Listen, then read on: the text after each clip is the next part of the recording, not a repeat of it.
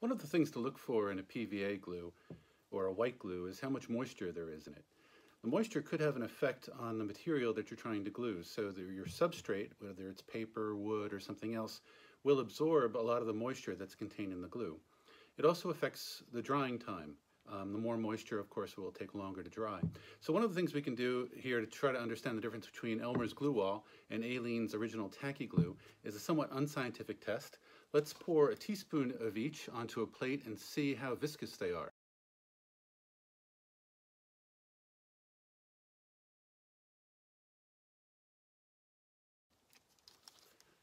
Now let's go ahead and stand up the plates and see which one runs first.